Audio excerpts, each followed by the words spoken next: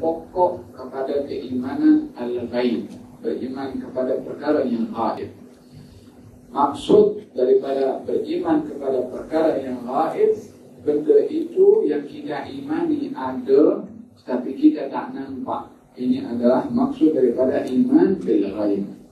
Oleh karena yang demikian, apa yang saya sebutkan sebentar tadi tentang alam barzah, tentang syafaat, tentang kembangan, tentang hisab, tentang asirat, semuanya perkara yang gaib yang kita tak pernah nampak pun, tapi kita tahu dan kita beriman. Bukan hanya tahu, tapi beriman.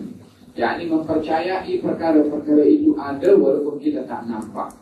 Sebab bila mana disebut kata iman, ia tidak menyentuh kepada indera kita yang daripada yang lima ini, baik itu mata ataupun telinga ataupun uh, tangan yang boleh untuk menyentuh atau merasa Tapi kalau beriman adalah menyentuh kepada hati. Yani hati bila beriman walaupun mata tak nampak, walaupun telinga tak pernah mendengar suara macam mana itu syurga dan macam mana suara itu neraka, maka ini adalah merupakan uh, tuntutan pada hati untuk beriman dan bukan yakini akal. Akal hanya untuk membantu berfikir tapi bukan untuk meyakini real benda nyata ada di hadapan mata. Lihatlah uh, dikatakan tentang hari akhirat itu adalah beriman kepada hari akhirat dan apa saja yang berlaku di sana. Dan dalam hal ini bagi orang yang beriman akan hari akhirat adalah mempercayai akan adanya surga dan adanya neraka sebagai balasan baik bagi orang-orang yang beriman adalah surga balasan sebagai hukuman bagi orang-orang yang berhaka adalah neraka waliyadu billah. Baginda Rasulullah Wasallam menggambarkan kepada kita akan neraka yang bagi kita itu adalah perkara yang gaib, tapi bagi setengah manusia, manusia seperti kalangan para ambia mereka adalah terkadang boleh nampak nyata kepada adanya surga dan juga neraka itu satu peristiwa bagi Rasulullah Shallallahu Alaihi Wasallam ketika salat. Dalam salatnya itu baginda menghampirkan tubuh badannya ke hadapan, yani seakan-akan bergerak menuju ke hadapan.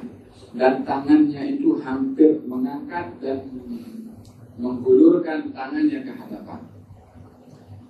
Kemudian pada masa yang sama baginda Rasulullah Shallallahu Alaihi Wasallam ketika sholat juga baginda ke belakang seakan-akan benda bahaya menghampiri kepada baginda dan baginda berundur untuk mengelak daripada perkara bahaya itu yang akan menghampiri kepada dirinya.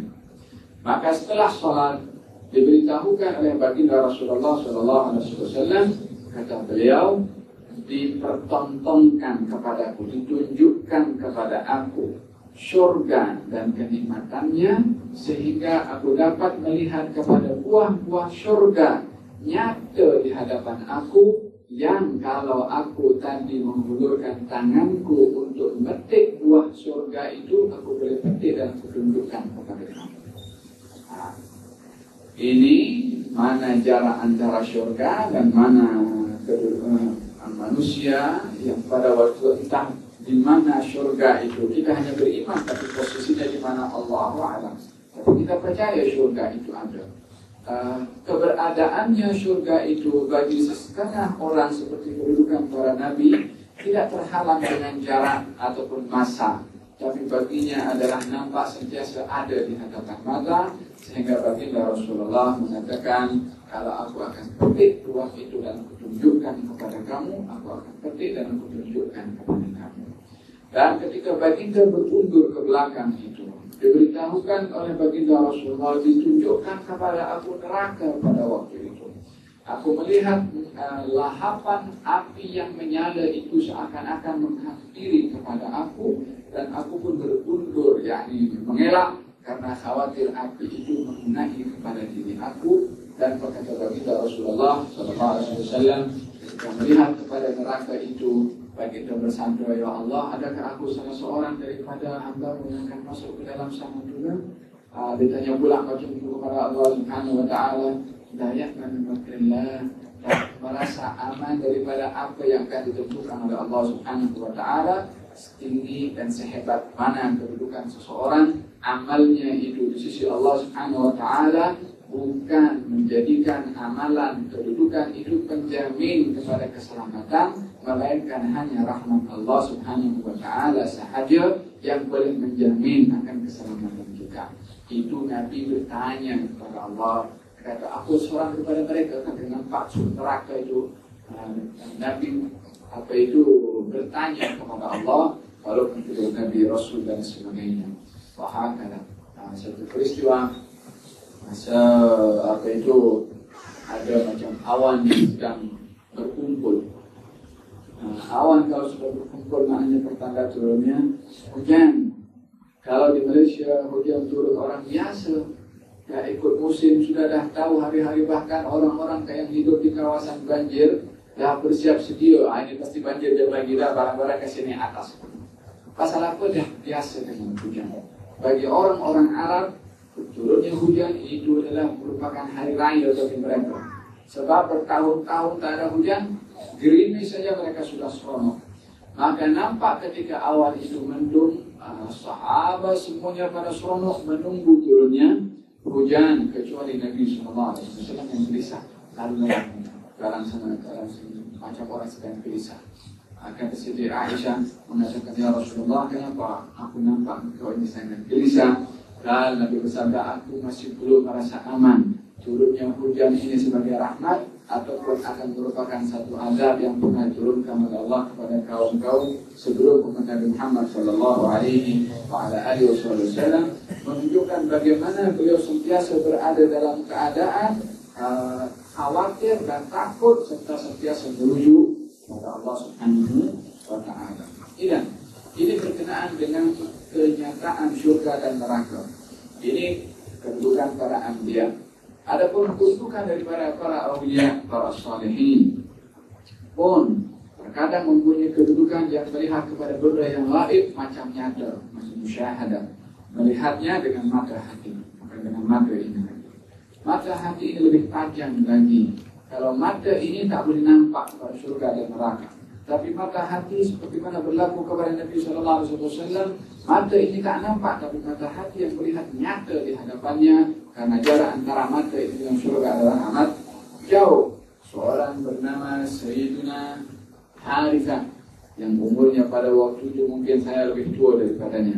Nah, mungkin sebagian pun di sini pun lebih tua juga ada. Umurnya 17 tahun saya satu peristiwa dia uh, tidur lalu kemudian dia bangkit daripada tidurnya dan mengatakan kepada Rasulullah ketika berjumpa dengan Rasulullah Nabi tanya wahai Harithah bagaimana keadaanmu pagi ini kata Harithah mengatakan asbahtu mu'minan billah. Saya berada dalam keadaan iman yang sebenar kepada Allah. Selalu kalau tanya apa kabar? Baik Alhamdulillah. Tapi bagi mereka orang-orang yang levelnya tinggi seperti mu'minan billah, saya berada dalam beriman mantap kuat kepada Allah Subhanahu wa taala. Kata Nabi SAW ketika mendengar jawaban yang berbeza daripada biasanya, maka Nabi tanya, apa tanda iman kamu kepada Allah? Kal kata Harithah mengatakan, Ya Rasulullah, aku berada dalam keadaan beriman kepada Allah, tandanya adalah bagi aku sama batu atau emas bila mana diletakkan sama-sama tak ada nilainya kalau istawa indi sama di hadapan mata aku ini antara batu dan juga dengan uh, apa itu dengan emas. Fakaanni angkuru ila arsyillahi bariza. Aku seakan-akan boleh nampak kepada arasnya Allah nampak nyata di hadapan mata aku. Fakaanni angkuru ahlal jannati fil jannati yatana'amun wa ahlal nari di nari yatalawamun. Seakan-akan juga aku boleh nampak penghuni surga di surganya itu sedang menikmati kenikmatannya Penghuni neraka di nerakanya sedang berteriak karena kesakitan, karena pedihnya hukuman berada di dalam neraka. Masa itu surga belum ada penghuni, neraka belum ada penghuni, tapi iman bil ghaib nampak jauh menembusi kepada penghalang-penghalang ini semua melihat kepada sesuatu yang tak boleh nampak dengan indera mata ini adalah mata iman. Ini lebih kuat dibandingkan kepada indera mata. Walihada bila mana berbicara tentang perkara-perkara yang gaib ada kubur, nikmat kubur, surga, neraka, kemudian hisab, timbangan, sirat, semuanya adalah tidak menggunakan mata ini, tapi menggunakan mata hati, yakni iman kepada apa yang diberitahukan. Al-Jannah itu kenapa diberi nama Al-Jannah? Jannah itu mempunyai dua makna. Yang pertama artinya adalah kebun atau taman disebabkan oleh kerana di surga itu adalah banyak taman-taman. Yang kedua jannah itu diberi, diberi nama jannah berasal daripada kata al-jin. Jin itu adalah sesuatu yang tersembunyi sebagaimana makhluk jin diberi nama jin itu tak nampak Jannah diberi nama jannah adalah tempat yang tidak nampak dengan mata indera kita. Ini itu dua sebab kenapa jannah diberi nama al-jannah. Kemudian ada pun an-nar, artinya diberi nama an-nar sebabnya adalah api. Uh, sebab neraka itu adalah uh, hukuman yang ada di dalam situ adalah api. Kecuali neraka yang namanya neraka Zamharir neraka Zamharir ini neraka yang paling sejuk yang kalau seseorang itu dimasukkan di neraka Zamharir masuk ke dalamnya ya tamayyaz a'dha'ahu akan terpotong-potong anggota tubuh badannya terpisah karena sejuknya. Dia macam tahu kalau Aisyah sejuk apa namanya apa hancur ah, macam itu juga akan berlaku kepada orang-orang. Di ada pada Allah Subhanahu wa taala di neraka Zamharir Nah, dalam sebuah riwayat dinyatakan bahwasanya seseorang itu ketika merasakan panasnya eh, sesuatu uh, matahari ketika di dunia lalu dia mengucap la ilaha illallah. Alangkah panasnya matahari ini? Aku berlindung kepada Allah subhanahu wa ta'ala daripada panasnya api neraka mereka yang berkata begitu akan dilindungi pada Allah subhanahu wa ta'ala daripada panasnya api neraka nanti di sana sebab mengingatkan akan panasnya di dunia ini apakah lagi panas nanti di akhirat waliyadzubillah ingatnya orang itu kepada apa yang akan dilakukan oleh Allah sebagai hukuman kepada orang-orang yang berhak kepada Allah menyebabkan dia dilindungi oleh Allah Subhanahu wa. Orang yang mengalami musim sejuk sangat. La ilaha illallah sejuklah musim ini aku berlindung kepada Allah Subhanahu wa taala daripada sejuknya Zamharir, yang neraka Zamharir uh, apa itu maka Allah Subhanahu wa taala akan melindunginya daripada neraka samaya. Oleh sebab itu kita diberitakan ketika hidup di dunia ini yang beriman akan adanya surga dan juga neraka dan apa yang disediakan oleh Allah di dalamnya yang tak pernah ada mata yang pernah memandang telinga pernah mendengar ataupun terlintas dalam hati manusia diberitakan oleh Allah untuk sentiasa meminta surga dan berlindung kepada Allah daripada neraka. Kurang-kurang setiap hari tiga kali Allah as'aluka jannah wa a'udzu bika minan. Allah aku berlindung kepadamu, aku minta kepadamu surga dan aku berlindung kepadamu ah, daripada api neraka. Melainkan orang mengucap demikian akan diberi oleh Allah surga atau dimasukkan surga dan dilindungi oleh Allah Subhanahu wa taala daripada api neraka. Tapi kena minta karena kita memohon, karena kita berlindung kepada Allah Subhanahu wa taala. Ya, dalam Al-Quran Al-Karim Allah Subhanahu wa taala ketika menceritakan tentang neraka kata Allah Subhanahu wa taala laha sab'atu abwabin kulli babin minha juz'un mawsum. Nah, neraka ini mempunyai tujuh pintu. Masing-masing pintu mempunyai grup tersendiri yang boleh masuk hanya melalui pintu itu pintu munafik ada satu, pintu kafir ada satu, pintu orang yang rapuh kepada Allah ada satu. Masing-masing itu dia punya entrance, ada khusus, ada list daripada mana yang akan masuk setiap orang-orang jenis golongan daripada manusia ada dimasukkan ke dalam uh, uh, neraka melalui pintu-pintu yang tujuh itu. Daha sab'atu abwa ada tujuh pintu. Tujuh pintu dimaksudkan adalah nama-nama daripada neraka itu. Apa saja? Yang pertama jahannam. Yang kedua adalah neraka lava. Lava ini adalah nama kepada pintu neraka yang orang masuk dalam situ. Kalla innaha lava nazza'atan lishawa tad'u man adbara wa tawalla. jama'a fa'awa inna insana khuliqa halu'a Allah dalam Al-Quran kalla jangan kau berbuat demikian wahai manusia jangan ingkar jangan kufur innaha laba mereka orang yang derhaka dan kufur akan diadab dengan neraka laba bagaimana neraka itu laba nazza'atan lisyawa Naza'ah itu daripada kata naza'ah. Naza'ah itu mencabut.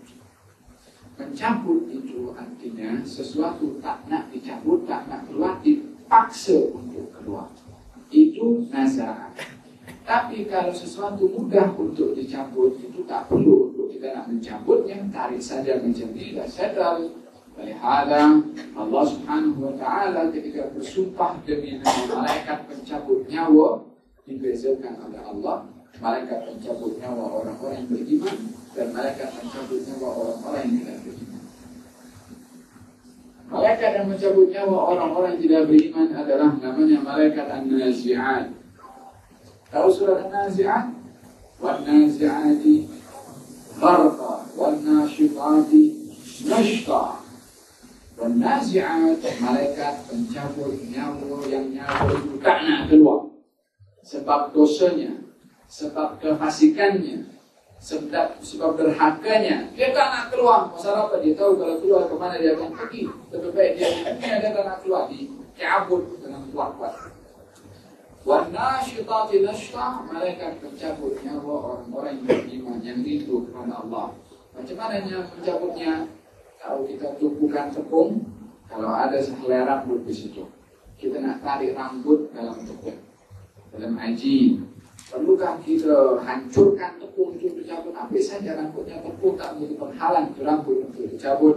Demikian juga ruh orang-orang beriman dan rindu kepada Allah Subhanahu wa taala cambutan ruhnya macam orang menarik uh, sehelai rambut daripada tumpukan mudah macam itu. Malaikatnya pun khusus namanya malaikat an-nasyat malaikat yang mencabut ruh orang-orang yang fasik nazi'at dan yang mencabut ruh yang tanah keluar. Ini sifat daripada neraka naza'ah. Naza'ah itu yang uh, apa itu cabutannya keras nah bukan hanya naza'ah mencabut tapi cabutan yang keras naza'atan lisyawa syawa untuk kulit kepada kepala ini namanya uh, kulit kepala kalau terkena orang yang masuk di neraka lava itu neraka dapat memisahkan kulit kepala daripada tulang kepala ini. Tad'u man adbara wa tawalla. Itu neraka panggil kepada orang yang lari. Tad'u. Siapa yang panggil? Neraka. Neraka boleh kenal siapa penghuni-penghuni. Dah ada list yang sudah ada kepada neraka yang akan uh, macam itu. Tahu? Tahu kecut?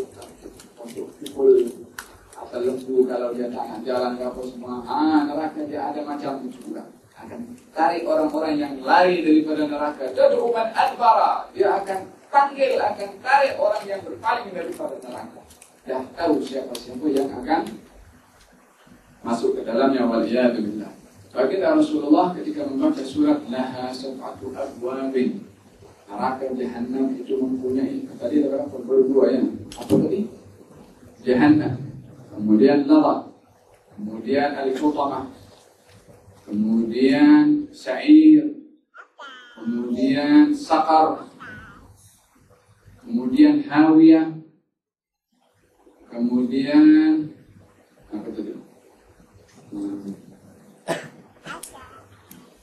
Sakar sudah, syair sudah, utama sudah, hawiyah sudah, kemudian jahannam sudah, lava berapa? Nah, baik. فويل للمصلين الذين هم عن صلاتهم ساهون ini adalah pintu-pintu jahannam bagi Rasulullah satu peristiwa salat malam. Dalam salat malamnya ada seorang wanita daripada kampung Badui sana. Tengok Nabi salat, dia pun salat di belakang Nabi jadi makmum. Salat di belakang Nabi, Nabi baca surat kuat. Baca surat itu di dalam surat Hijr. Maka Nabi ketika membaca laha sab'atu abwabin neraka jahannam neraka itu mempunyai tujuh pintu. Setiap pintu adalah juz'un ada golongan-golongan tertentu. Atau juzuk itu bahagian. itu wanita yang dengar bacaan Nabi terus pengsan, stop, dan tak boleh sambung balik sholatnya bersama dengan Nabi. Nabi terus sambung selesai salam, ditanya tengok itu wanita di belakangnya pengsan, maka kata baginda Rasulullah SAW setelah dia di apa percikan air dan bangkit kemudian diberitahukan kalau dia dia pengsan disebabkan kesan daripada bacaan Nabi ketika menceritakan tentang jahanam. Kata Nabi kalau begitu patutlah kamu pengsan. Sebab apa? Uh, pemahamannya, penghayatannya kepada Al-Quranul Karim amat tinggi dan dalam, semakin dalam sentuhan Al-Quran, semakin berkesan kepada si pembaca Al-Quran itu sendiri, keberkesanannya mengikut level masing-masing. Level seperti Rasulullah SAW, level iman yang tinggi, dia mempunyai kedudukan yang sempurna di dalam memahami Al-Quranul Karim. Uh, berbeza dengan level-level selain daripada baginda Rasulullah, baik daripada sahabat atau daripada yang lainnya. Kata baginda Rasul, kata perempuan itu, ya Rasulullah, adakah makna dari ayat uh, Jahannam itu mempunyai uh, pintu dan masing-masing pintu setiap bahagian manusia itu akan dicampakkan ke dalam itu. Adakah maksudnya setiap satu orang tubuh badannya itu akan dipecah menjadi tujuh bagian dicampakkan masing-masing ke dalam pintu neraka itu? Atau macam mana? Dia paham tangannya masuk pintu jahanam kemudian kakinya masuk pintu entah daripada lava ke apa dia, dia paham seperti itu. Kata baginda Rasulullah bukan tapi ikut golongan masing-masing sejauh mana berhakanya orang itu kepada Allah Subhanahu wa taala maka kata uh, wanita itu ya Rasulullah Aku mempunyai tujuh orang hamba sahaya. Aku akan bebaskan satu-satu daripada hamba sahaya itu untuk aku jadikan setiap satu daripada mereka yang menjadi penghalang kepada aku untuk memasuki setiap pintu daripada pintu-pintu jahanam. Jadi amalan bersedekah aku akan jadikan sebab untuk aku tidak malu masuk pintu salah satu daripada tujuh pintu neraka jahanam maka dibebaskan ke tujuh pintu hamba sahaya datang malaikat memberitahukan kepada baginda Rasulullah beritahukan kepada wanita itu kalau Allah sudah selamatkan dia daripada api neraka. Hakada bagaimana sifat neraka dan juga surga yang uh, apa itu uh, disifatkan di dalam Al-Quranul Karim uh, dalam surat As-Sajdah dalam surat As-Sajdah bagaimana Allah berfirman ألا تعلم نفس ما أخفي لهم من قرة أعين جزاء بما كانوا يعملون dan tak ada seorang pun yang mengetahui daripada kenikmatan-kenikmatan yang disediakan oleh Allah Subhanahu wa taala di dalam surga sebagai balasan kepada amal perbuatan mereka. Dan dalam surat Al-Haqq Allah berfirman, "Bahwa fi fi jannatin 'aliyah qutufuha daniyah." Qutufuha daniyah dahan pokok dalam surga itu adalah amat rendah. Kalau kita nak memakan makanan tak perlu nak panjat pokok, pokok itu yang menghampiri kepada kita, kita boleh petik. Kata Allah Subhanahu wa taala ketika dalam surat Al-Baqarah, ketika orang memakan makanan buah-buahan di surga, mutasyabiha. Mereka diberi makanan yang serupa, yang mirip. Yang namanya mirip itu pasti tak sama. Kita kalau makan apple, daripada buah yang sama tentunya lebih kurang rasanya pun sama juga di surga tidak Epalnya sama buahnya sama tapi rasanya berbeda buah yang kedua lebih nikmat daripada yang pertama yang ketiga lebih nikmat daripada yang kedua yang keempat lebih nikmat daripada yang ketiga ah macam itu juga seterusnya ada mereka mengatakan ih macam sama lah tapi setelah mereka makan berbeza lebih nikmat daripada yang sebelumnya wa bihi mutasyabihan Demikian kenikmatan-kenikmatan surga. Seperti mana adab neraka begitu pedih, demikian kenikmatan surga adalah tidak boleh untuk dibayangkan oleh seseorang mana pun juga. Ini adalah yang ke-10 dan yang ke-11. Yang ke-12 adalah ru'yatullah, melihat kepada Allah di surga. Alama yadid bijalalihi sesuai dengan uh, keadaan yang dikehendaki dan sesuai dengan kedudukan, keagungan, ketinggian Allah Subhanahu wa taala. Melihat kepada Allah adalah satu perkara yang wajib untuk diimani karena ianya adalah merupakan perkara yang ditetapkan di dalam Al-Quranul Karim dan juga di dalam Sunnah Nabi Muhammad Sallallahu Alaihi Wasallam. Adapun di dalam Al-Quran Allah berfirman wujuhu yawma idin nadhirah ila rabbiha nadhirah surat Al-Qiyamah 22 dan 23. Wajah-wajah pada hari itu, yakni hari kiamat, nadhirah, berseri-seri, bercahaya. Ila rabbiha nadhirah kepada Tuhan mereka wajah-wajah itu akan melihat.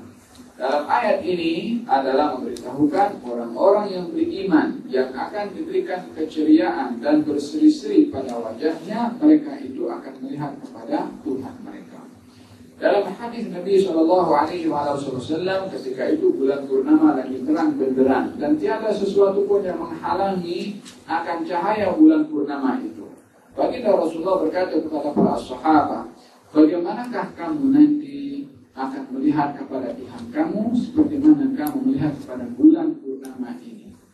Yani Nabi memberikan permisalan pendekatan melihat kepada Allah dengan melihat kepada bulan ini. Artinya, sebagaimana bulan yang kamu nampak sekarang ini tiada awan yang menghalanginya, tiada apa-apa yang menyebabkan kesamaran pada bulan itu Demikian keadaan yang akan berlaku kepada kamu nanti di hari kiamat untuk kamu dapat melihat kepada Tuhan kamu. Tapi bagaimana melihat? Adakah dengan indera mata kita ini sehingga uh, mata ini akan melihat? Ataupun dengan indera yang keenam akan diberikan oleh Allah untuk dapat melihat kepada Allah itu perkara akan diketahui nanti di sana bagi orang-orang beriman bila mana ingin melihat kepada Allah.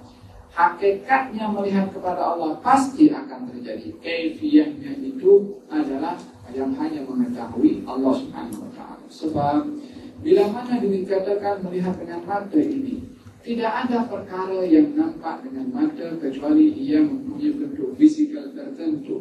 Entah bulat, entah luas, entah panjang, entah lebar, entah tinggi, entah Allah subhanahu wa ta'ala tidak mempunyai hal-hal seperti itu. Panjang, pendek, besar, kecil. Itu adalah size atau yang boleh berlaku kepada makhluk, tidak boleh berlaku kepada Allah subhanahu wa ta'ala.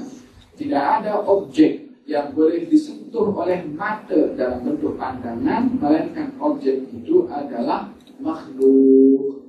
Kalau begitu, apakah makna melihat dengan Allah Subhanahu wa taala? Kalau melihat dengan mata ini, maka dikatakan oleh penulis di sini melihat kepada Allah dengan keadaan yang sesuai dengan ketuhanannya Allah, bukan dengan mata kita. Mata ini memandang, tapi bagaimana yang akan dipandang nanti terpulang kepada Allah Subhanahu wa taala, pastinya uh, manusia yang beriman akan melihat kepada Allah Subhanahu wa taala. Bahkan melihat kepada Allah itu nikmatnya mengalahkan kepada nikmat orang yang berada di dalam surga yang sedang menikmati. Mereka yang berada di dalam surga dalam beberapa riwayat diberitahukan ketika mereka sedang seronok nikmat kemudian Allah Subhanahu wa taala uh, mengizinkan kepada mereka untuk melihat kepada Allah Subhanahu wa taala, mereka semuanya berada dalam keadaan terpekun melihat kepada Allah Subhanahu wa taala yang menyebabkan mereka lupa kalau mereka sedang berada di dalam surga. Tapi kadar orang itu melihat kepada Allah berbeza satu dengan yang lain mengikut kedudukan orang itu di sisi Allah Subhanahu wa taala. Dan apa yang ingin disampaikan berkenaan dengan masalah melihat kepada Allah adalah merupakan bahagian daripada keimanan yang setiap orang beriman pasti akan melihat kepada Allah. Kaifiahnya itu macam mana? Adalah tidak dapat dikatakan pada hari ini. Pastinya adalah tentu itu sesuaikan dengan keadaan yang sesuai dengan keagungan dan ketinggian Allah Subhanahu wa taala. Tidak dalam Al-Quran Al-Karim Allah berfirman Billadzina ahsanul husna wa ziyadah. Bagi orang-orang berbuat ihsan adalah ganjaran surga Lalu wa ziyadah Dan tambahan daripada surga Apalagi tambahan daripada surga Melihat kepada Allah subhanahu wa ta'ala. Gerak Khatimatul Fikir Wali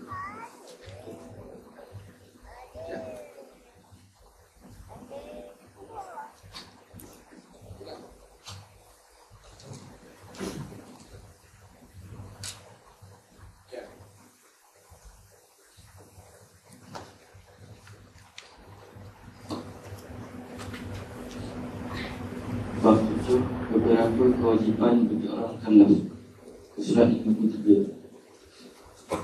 Azimatun fi dhikri bagi al-wajibin Mimma ala mukallafin min wajibin Bahagian berikut ini adalah penutup dalam menerangkan kewajiban yang tersisa yang wajib diyakini oleh setiap mukallaf. Nabi SAW diutus kepada seluruh umat manusia. Nabi Yuna Muhammadun qad ursila lil alamina rahmatan wa. Nabi kita Nabi Muhammad sallallahu alaihi wasallam sungguh telah diutus oleh Allah Subhanahu wa taala atas seluruh alam sebagai rahmat dan diutamakan ini atas semua rasul. Ayat penutup daripada perkara-perkara yang menyentuh kepada keimanan adalah setiap mukallaf. Mukallaf yang dimaksudkan adalah yang akil, yang baligh daripada jin dan juga manusia. Penutupnya adalah mengimani bahwasanya Nabi Muhammad sallallahu alaihi wasallam Nabi yang diutus oleh Allah kepada seluruh alam dengan membawa rahmat dan Nabi itu adalah Nabi termulia. Ada dua perkara. Yang pertama, Nabi diutus membawa rahmat kepada seluruh alam. Yang kedua, Nabi itu adalah termulia daripada seluruh para Nabi. Itu bahagian daripada penuntut yang wajib untuk kita meyakini bahwasanya kenabian Rasulullah berbeza dengan kenabian mana-mana nabi dan keutamaan Rasulullah berbeza dengan keutamaan mana-mana nabi. Itu menjadi satu keyakinan kepada kita sebagai umat Nabi Muhammad SAW. Dan yang pertama adalah menyentuh kepada Nabi Muhammad diutus kepada seluruh alam alamin. Al-alamin itu uh, jamak atau plural daripada alam kalau alam adalah single, al-alamin adalah plural. Apa itu arti alam? Alam itu adalah kullu ma Allah. Semua selain Allah adalah namanya alam.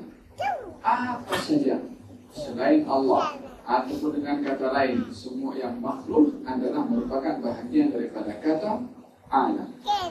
Tapi bila mana di uh, pluralkan dijamakkan ianya adalah menyentuh kepada beberapa perkara yang pertama adalah alam jin alamul malaika dan juga alamul insan alamul hayawan dan juga termasuk alamul jamadah bila mana kita melihat bahwasanya Nabi diutus kepada seluruh alam merangkumi, merangkumi kepada lima alam tadi yang saya sebutkan. Alam malaikat adakah malaikat itu wajib beriman kepada Nabi Muhammad Sallallahu Alaihi Wasallam? Ya mereka wajib beriman kepada Nabi Muhammad Sallallahu Alaihi Wasallam. Uh, demikian jin demikian manusia demikian juga adalah uh, apa itu hayawan dan juga tumbuh-tumbuhan. Hanya saja bentuk iman hayawan dan tumbuh-tumbuhan tidak seperti manusia yang mempunyai pilihan, tapi mereka itu secara tabi'i diberikan oleh Allah Subhanahu wa taala sifat yang sedemikian. Diutusnya Nabi kepada mereka adalah membawa rahmat kepada malaikat, kepada manusia, kepada jin, kepada tumbuh-tumbuhan, termasuk juga kepada hayawan. Apakah jenis rahmat yang boleh diberikan oleh Rasulullah kepada para malaikat? Satu rahmat yang boleh diberikan oleh Allah Subhanahu wa taala melalui Nabi Muhammad kepada para malaikat adalah ungkapan Sayyidina Jibril sendiri alaihi salam ketika Jibril berkata Syekh uh, Muhammad Mutawalli Sya'rawi dalam tafsirnya tafsir Sya'rawi dia ketika mengutip firman Allah Subhanahu wa taala apa itu muta'in thumma amin وما صاحبكم ولقد راه بالقبول وما ولقد راه بالافق المبين وما هو على الغيب بقدير وما هو بالسلطان مطاع ثم امين مطاع ثم امين كاد سيدنا جبريل عليه السلام saya sebagai malaikat ini tak tahu apa penghujung nasib yang akan saya alami. yang daripada ketentuan yang akan ditentukan oleh Allah kepada saya. Tetapi setelah saya mendengar firman Allah yang diturunkan kepada Nabi Muhammad yang memuji tentang Jibril alaihissalam kalau dia adalah malaikat yang uh, apa itu yang ditaati, yang dipatuhi dan dia malaikat yang baik, yang hebat, maka barulah dia tahu kalau nasib penghujung Jibril adalah diketahui akan kebaikan dan ketinggian kedudukannya melalui wahyu yang diturunkan oleh Allah kepada Nabi Muhammad SAW. Dan dalam hal ini daripada manakah Jibril tahu penghujung nasib uh, penghujung kehidupannya adalah melalui wahyu yang diturun oleh Allah kepada Nabi Muhammad. Kalau begitu, tahunya Jibril melalui wahyu Allah kepada Nabi Muhammad itu bahagian daripada rahmat yang diberikan oleh Rasulullah kepada malaikat yang diberitahukan akan nasib penghujung mereka melalui wahyu Al-Quran yang diturunkan oleh Allah kepada Nabi Muhammad. Adapun kepada alamul jin, jin juga bahagian daripada umat Rasulullah Shallallahu Alaihi Wasallam yang Nabi boleh nampak kepada mereka, yang Nabi berdakwah kepada mereka, yang Nabi pun terkadang pernah masuk ke dalam alam mereka dan Nabi pun pernah bersabda uh, ketika diberikan itu tulang untuk beristinja Nabi mengatakan dan ini tak boleh digunakan untuk istinja ini tulang belulang adalah merupakan makanan saudara-saudara kamu daripada golongan jin maka tulang kalau sudah kena benda najis mana boleh dimakan macam seperti mana kita barang najis tak boleh dimakan Demikian malaikat juga. Tulang-tulang yang terkena najis maka hukumnya pun haram dimakan oleh malaikat, oleh oleh jin. Maka Nabi melarang kepada um, orang beriman bila mana beristinja menggunakan tulang karena ianya adalah merupakan makanan daripada jin. Maka dalam hal ini larangan itu adalah bahagia daripada rahmat yang diberikan oleh Rasulullah kepada al-jin.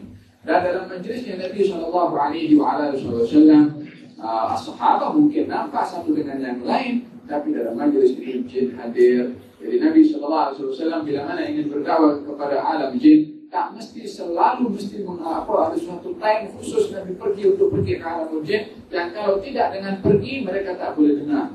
Tak, mereka hadir dalam majlis Nabi Shallallahu Alaihi Wasallam. Mereka patuh dengan apa yang dibawa oleh baginda Rasulullah. Bukankah kita dalam Al-Quran Al-Karim ada surat namanya surat surat Al-Jin. Kenapa surat Jin itu diturunkan oleh Nabi SAW? Sebab Nabi ketika diusir daripada Taif, orang Taif tak terima dakwah Nabi. Nabi itu kembali perjalanannya menuju ke Mekah. Pada waktu malam Nabi di tengah jalan Nabi salat, Nabi baca Quran kuat, jin dengar bacaan Nabi, jin duduk sampai habis Selesai habis Nabi baca Quran dalam salatnya, balik ke kampung ke alam jinnya, mereka menjadi dakwah Aku mendengar kata-kata yang pernah diturunkan kepada aku yang mengajak kita beriman kepada Allah Subhanahu wa taala, maka segolongan jin semuanya masuk Islam. Sebabkan bacaan Quran Nabi sallallahu alaihi wasallam قل أوحي إلي أنه استمع نفر من الجن فقالوا إنا سمعنا قرآنا عجبا يهدي إلى الرشد فآمنا به ولن نشرك بربنا أحدا سورة الجن قل أوحي إلي Anna ustama anak minal jin. Katakan wahai Muhammad telah diwahyukan kepada aku yang Rasulullah Sallallahu Alaihi Wasallam eh, wahyu yang didengarkan oleh nafar segolongan daripada jin. Fakalu mereka jin mengatakan semena Quran dan ajaba. Kami mendengarkan banyak Quran yang begitu menakjubkan. Uh, Inna sami'na Qur'anan ajaba yahdi ila rusdi yang mengajak kepada jalan tujuh yang benar. Fa'amanna dan kami beriman kepada Tuhan kami. Wala nusyrika bi rabbina ahada dan kami tidak menyekutukan kepada Tuhan kami. So golongan jin beriman. Sebab Al-Quran yang dibaca oleh Nabi Shallallahu Alaihi Wasallam. Syahid adalah jin pun bahagian daripada golongan makhluk yang mendapatkan rahmat daripada baginda Rasulullah Shallallahu Alaihi Wasallam. Kepada golongan al-hayawan cukup banyak cerita kisah-kisah yang menunjukkan bahwasanya Nabi Shallallahu Alaihi Wasallam pun juga uh, apa itu bawa rahmat kepada al-hayawan.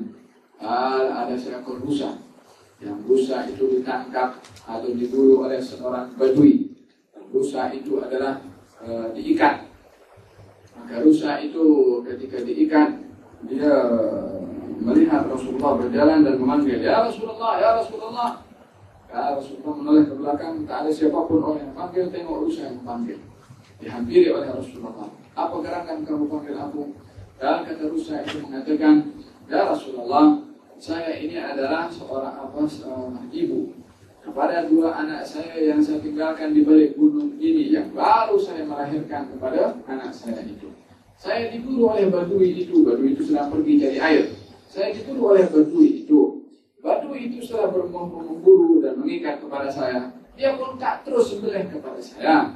Kalau dia sembelih kepada saya, saya mati, saya tak risalah kepada anak-anak saya, tapi dibiarkan sekarang sampai sekarang tak disembelih-sembelih. Tetap pikiran saya ingat kepada dua anak saya yang belum saya susui. Mahukah Tuhan lepaskan saya daripada ikatan ini untuk saya susui anak kedua anak saya? Lepas itu saya patah balik lagi ke sini. Kata baginda Rasulullah, bagaimana tidak lepas? Kau adalah buruan daripada hak orang yang berburu itu. Kalau mengenai aku berjanji kepada engkau, kalau engkau lepaskan aku, kau tak balik. Aku balik lagi. Maka dilepas oleh Nabi, Rusia itu tidak dulu tunggu standby. Ah, lepas itu Rusia sudah pergi balik gunung, tak lama Rusia itu balik dalam keadaan susu yang tadinya penuh sudah mulai uh, habis disusukan kepada anak-anaknya. Maka dia pun kembali Rusa pun pandai tepat janji juga. Haiwan janji menepati kepada janjinya. Datang balik ini ah, itu rusa tepat janji untuk apa? Untuk disembelih. Kalau manusia ada campur lari dah. Dia kata balik, diikat balik, maka itu berduit. Apa kamu yang sedang kamu lakukan, wahai Rasulullah? Diceritakan oleh Nabi SAW. Lalu Nabi bersabda, maukah kamu jual rusa ini kepada aku untuk aku beli? kata badu itu huwalak ya Rasulullah kalau menghadiahkan itu kepada ya Rasulullah dilepaskan oleh baginda Rasulullah dan mengatakan didiklah anakmu sampai dewasa. Maka rusa itu ketika dilepaskan meluncur lari. Sambil menari kaki belakangnya. Mengatakan syahadu an la ilaha illallah wa Muhammad Rasulullah. Syahadu an la Muhammad Rasulullah. Terus sampai hilang.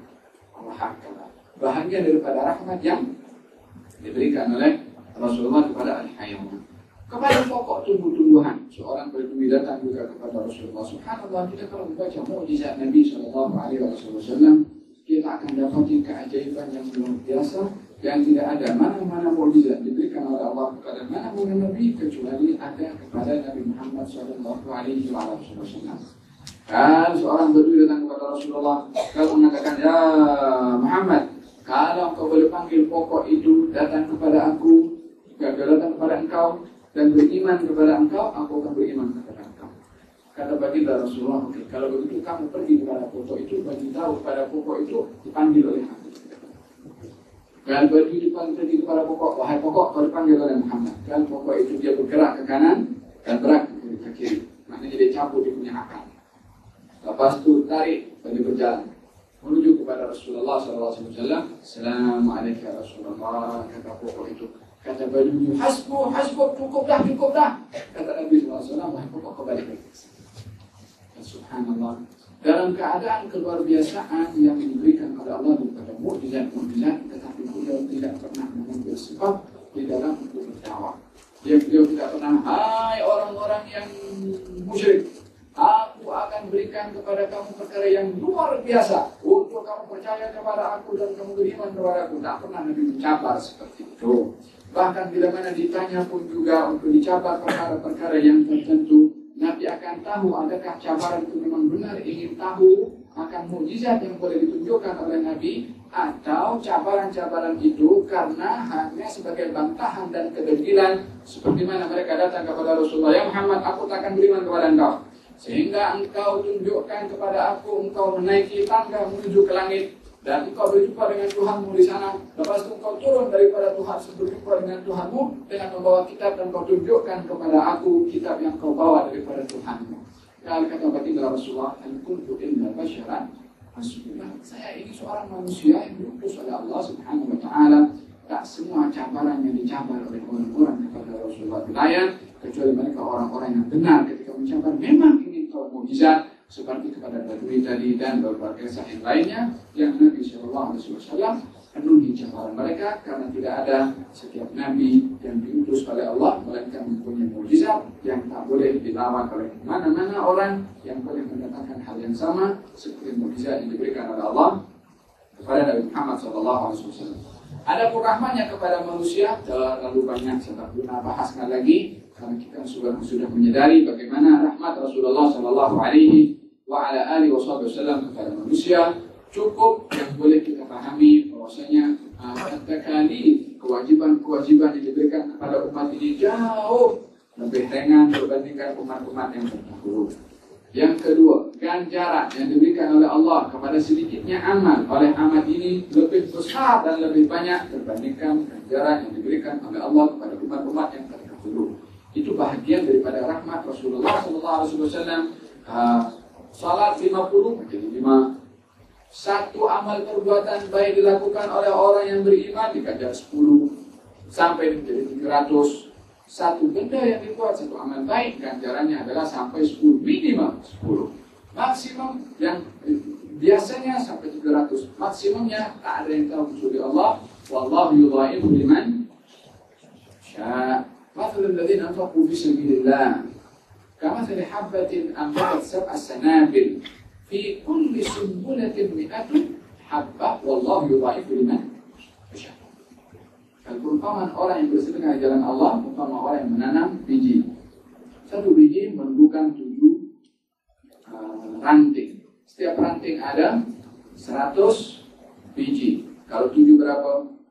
700. Kemudian penghujung ayat itu wallahu yudha'ifu liman dan Allah melipat gandakan kepada sesiapa yang dikehendaki melipat gandakan itu jumlahnya berapa Allah yang tahu. Siapa manusia yang akan menghadkan bilangan yang akan ditentukan oleh Allah Subhanahu wa taala, akal ini akan merasa berhenti kepada sebuah batasannya, sementara pemberian Allah itu adalah amat luas yang tak boleh dibayangkan oleh akal manusia. Ini bahagia daripada rahmat yang diberikan oleh Allah kepada umat ini disebabkan oleh kerana Nabi Muhammad SAW. Bahakalah beberapa kalau dahulu Uh, puasanya kalau dahulu puasa itu mesti berterusan lepas berbuka puasa dah tak boleh sambung lagi puasa sampai esok lagi. Ini daripada terbit fajar sampai terbenam matahari lepas tu boleh makan lagi dah. Uh, faham uh, apa itu? Kewajiban zakatnya kewajiban taubatnya. Uh, kalau dahulu zaman Nabi Musa alaihissalam orang bertaubat dengan apa dengan dibunuh satu dengan yang lain supaya turun taubat dari Allah tidak berlaku kepada Nabi Muhammad SAW kalau dahulu kain yang najis ini terkena najis, dah tak boleh pakai, kena buang, ganti baju baru. Bagi syariat kita, boleh dicuci, kalaupun ada bekas yang tak boleh hilang, masih boleh pakai lagi. Daripada segi syariahnya, daripada segi ganjarannya, dari segi dosanya, kalau dosa dahulu berat bagi umat ini adalah dosanya, kalau satu dosa dibuat, satu dosa juga diberikan oleh Allah Subhanahu Wa Taala. Wahakala terlalu luas rahmat Nabi Muhammad SAW kepada manusia. Ini perkara berkaitan dengan rahmat Nabi kepada seluruh alam. Yang kedua adalah masalah keutamaan baginda Rasulullah Shallallahu Alaihi Wasallam. Tentunya adalah Nabi Muhammad Shallallahu Alaihi Wasallam adalah Nabi termulia, Nabi tergulung berbandingkan kepada nabi-nabi yang lain ini dibuktikan atau diakui oleh Nabi sendiri. Nabi bersabda, "Ana sayyidu waladi Adam wala fakhar. Aku adalah penghulu kepada seluruh anak Adam. Aku tidak sombong. Ana awwalu man tanshaqqu anhu al-ardu yawmal qiyamah. Aku adalah orang pertama kubur aku yang akan terbelah bila mana ditiupkan sangkakala kebangkitan nanti di hari kiamat. Waliyawa'ul hamdi biyadi yawmal qiyamah bendera yang namanya bendera alhamdu panji alhamdu itu berada di tangan aku di hari kiamat Adam wa man dunahu Nabi Adam dan semuanya anak-anak Adam termasuk para anbiya, para siddiqin, para rasul di bawah panji aku kata Nabi wasallam. Cukup dengan satu hadis itu sudah saja sahaja sudah membuktikan keutamaan Rasulullah berbandingkan kepada para rasul yang lain tanpa mengurangkan derajat rasul-rasul yang lain. Nabi bersabda, La tufaddiluni, jangan engkau membanding-bandingkan aku dengan Yunus bin Matta, dengan Yunus. Yani, jangan membanding-bandingkan aku, walaupun beliau adalah tak dapat dibandingkan dengan sesiapapun juga. Bermakna Nabi mengajarkan bahwasanya orang yang mempunyai kedudukan di sisi Allah, Tidaklah dipertawadhu. Jangan bila mana dibandingkan, wah memang aku layak lebih baik daripada si fulan. Ada dibenci oleh Nabi Sallallahu Alaihi Wasallam. Nabi sendiri walaupun beliau orang yang mulia, dibandingkan dengan nabi-nabi yang lain, Nabi melarang jangan membandingkan aku dengan sesiapa pula. Walaupun beliau tiada tandingannya, beliau adalah merupakan makhluk termulia daripada seluruh makhluknya Allah Subhanahu wa taala. Allah taala alam bisawab. Uh, bab yang berikutnya adalah kita akan membahaskan berkenaan dengan nasab Nabi, betul kan? Nasab Nabi dan uh, kita akan bahaskan berkenaan dengan beberapa isu yang berlaku baru-baru ini berkenaan dengan situs uh, kedua ibu bapa Nabi, apakah uh, benar bahwasanya seperti mana di katakan adalah berada dalam keadaan tidak beriman ataukah berada dalam keadaan beriman kita akan bahaskan dengan panjang lebar karena bahas sekarang masih tak cukup sudah masuk waktu Jumat InsyaAllah pada kelas yang akan datang kita akan bahas secara panjang lebar dan boleh di apa didiskusikan bersama berkenaan dengan apa-apa yang perlu untuk diucapkan InsyaAllah. Pertanyaan Gerak.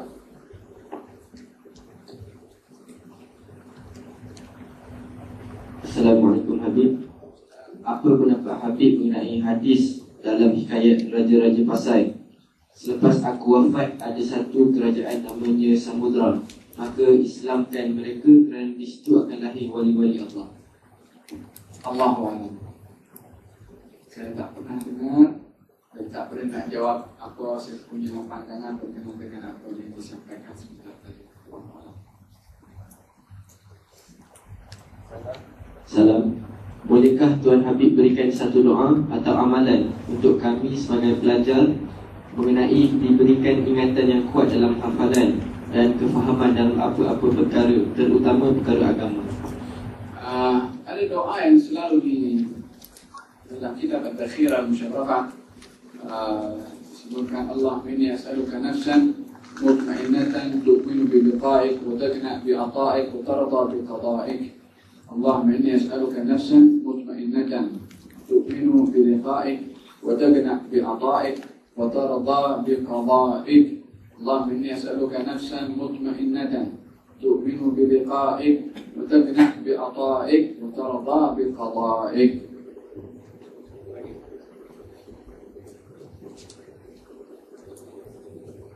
dibaca selepas asar. Ah, ya Allah aku memohon kepada engkau Nafsan mutmainnatan. Jiwa yang tenang. Terkena bi'ata'ik Yang puas hati dengan pemberianmu. Wa tarda biqada'ik Dan rida dengan ketentuan qada' dan qadarmu. Terkena bi'ata'ik Wa tarda biqada'ik.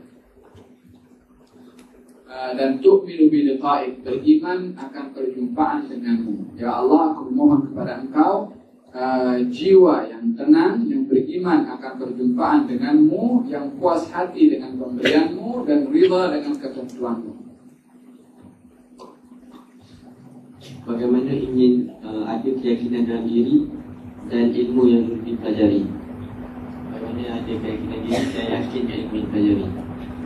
Uh, dengan mengambil tahu kepada siapa dia belajar dan ilmu apa yang dia pelajari. Ada yang pertama berkenaan dengan untuk meyakini ilmu yang kita belajar. Adapun untuk memantapkan keyakinan di dalam hati ini tentunya adalah terdebur kepada ayat-ayat Allah dan bertafakur akan ciptaan-ciptaan Allah adalah merupakan uh, apa itu cara yang uh, sangat mujarab untuk memantapkan kita punya keyakinan kepada Allah. Dan kepada ilmu yang kita belajar, adalah kita tahu siapa guru yang kita belajar, dan ilmu apa yang kita pelajari maka kita akan dapat memantapkan keyakinan ini. Assalamualaikum. Apa pendapat Habib mengenai Ahlul Bait yang berkahwin dengan orang biasa dan apakah anak yang dilahirkan hasil daripada hubungan ini dikira Ahlul Bait juga? Dia akan menyentuh kepada banyak masalah dalam fiqah berkenaan dengan al-kafa'ah keserasian yang dibagi menjadi lima bahagian dalam mazhab Imam Syafi'i agama, uh, nasab, kedudukan, uh, merdeka ataupun hamba sahaya dan juga harta. Maka lima perkara ini adalah bahagian yang diambil juga dalam pernikahan yang dinilai sebagai sebagai bahagian daripada uh, al-kafa'ah. Uh, uh, secara amnya banyak pandangan ulama berkenaan dengan mazhab Syafi'i dan selainnya yang menitik beratkan tentang keserasian adalah terutamanya mazhab Imam Syafi'i dan juga mazhab Imam Abu Hanifah uh, berbeza dengan apa yang di pandangan Imam Malik yang tidak mengambil iktibar akan uh, keserasian di dalam nasab itu sendiri tapi dalam mazhab Syafi'i menjadi uh, sebab juga di dalam uh, perkara yang perlu diambil kira dalam akad nikah akan keserasian itu. Uh, ringkasnya bila mana ada persetujuan daripada si ahli bait itu sendiri dan wali-walinya yang lain secara keseluruhannya untuk menguburkan dari segi keserasiannya itu kepada yang lain maka pernikahan itu akan menjadi sah dengan persyaratan persetujuan si perempuan itu dan wali-wali kepada perempuan tersebut. Adapun hasil daripada pernikahan itu setelah adanya persetujuan untuk menggugurkan kafaah itu sendiri bukan menggugurkan nasab ya, menggugurkan kafaahnya. Maka bila mana sudah disetujui perkahwinan itu akan menjadi sah dan hasil daripada keturunannya itu tidak dikatakan sebagai uh, ahlul bait yang uh, mempunyai beberapa hukum yang ada kaitan dengan mereka seperti zakat dan sebagainya. Apakah ada solat yang dilamakan pada rakaat, pertama untuk semua rukun-rukunnya dan dipercepatkan rukun-rukunnya pada rakaat seterusnya? Mohon penjelasan. Uh, jumlah uh, bilangan ayat yang dibaca rakaat yang pertama tentunya lebih panjang berbandingkan rakaat yang kedua. Uh, ini adalah kebiasaannya seperti itu. Rakaat yang pertama jumlah ayat yang dibaca lebih panjang berbandingkan yang kedua. Tujuannya adalah bila mana ada orang yang datang lewat uh, maka dia boleh untuk mendapatkan bersama dengan imam daripada awal rakaat karena imam memanjangkan di dalam bacaan uh, rakaat pertama berbandingkan kepada rakaat yang kedua. Kecuali ada beberapa surat yang digalakkan untuk dibaca yang bacaan dua surat itu dalam satu surat yang pertama lebih pendek berbandingkan yang kedua seperti surat Jumat. Atau malam Jumat membaca rakaat yang pertama seperti Isma Rabbikal A'la. Yang kedua adalah Hal Ataka Hadithul Ghasyiyah nah, Hal Ataka Hadithul Ghasyiyah lebih panjang berbandingkan kepada seperti Isma Rabbikal A'la. Itu adalah pengecualian yang berlaku pada hari-hari tertentu seperti malam Jumat dan juga hari Jumat. Kalau sama juga sholat yang yang jahriyah atau syariah rakaat yang pertama adalah lebih panjang berbandingkan kepada rakaat yang kedua. Untuk muslim ada soalan. Ada?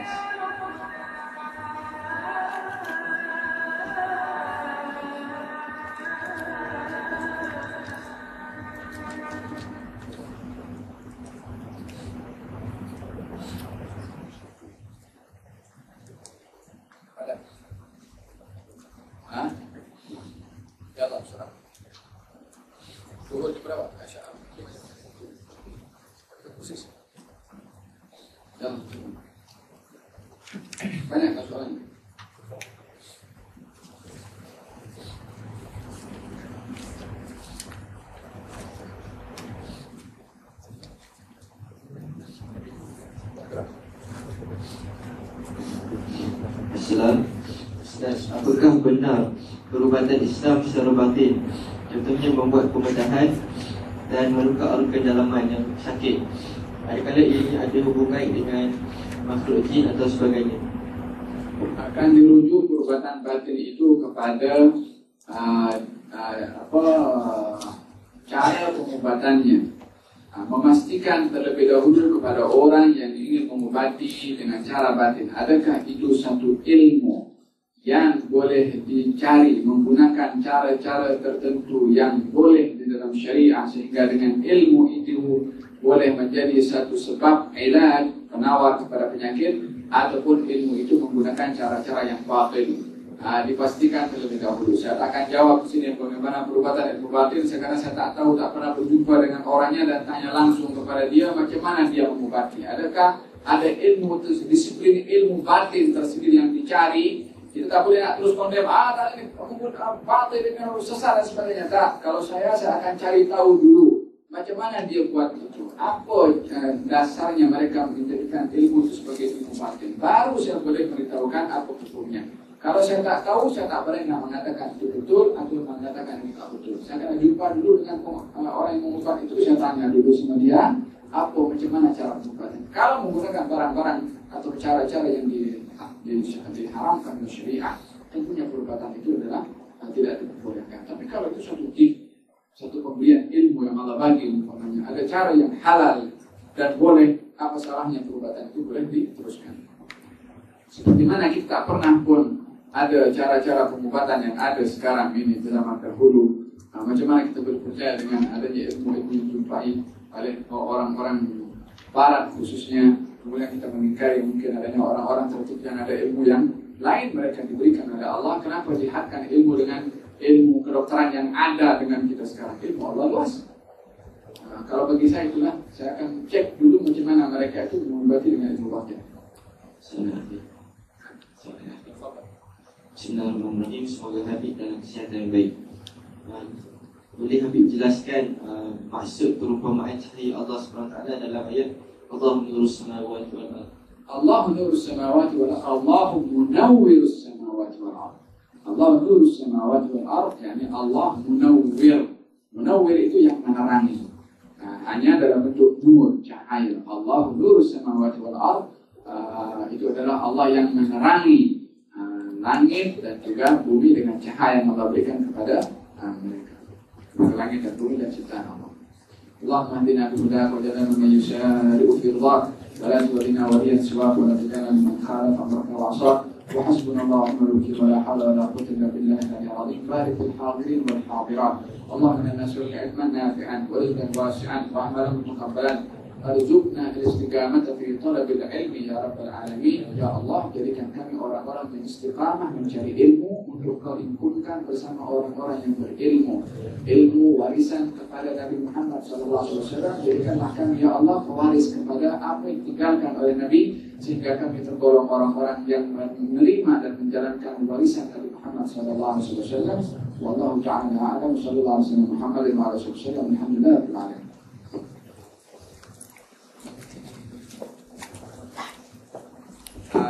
ini ada majelis taklim di Masjid Mu'ad di Jabal seperti biasa. Hanya saja minggu depan tidak ada. Minggu depan tidak ada hari adalah insya Allah seperti biasa hari Jumat jam sembilan setengah malam semua dijemput hadir. Dan insya Allah kalau boleh majelis majelis taklim Anur ini apa namanya masing-masing ada memegang buku saya saya galakkan seperti itu supaya sesuai dengan cara talaki kita kita uh, lebih sempurna lah. Jadi boleh balik rumah dibaca lagi mungkin ada muskil boleh tanya uh, ada yang lebih baik seperti itu. Ya.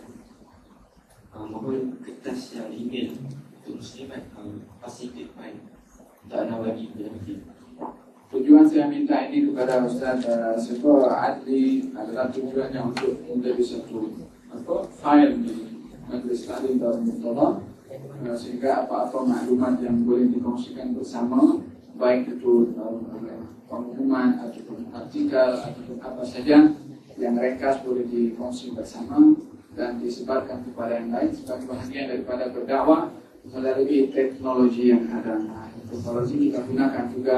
Nah, kalau kita gunakan kepada yang baik, orang lain akan gunakan untuk yang tidak baik.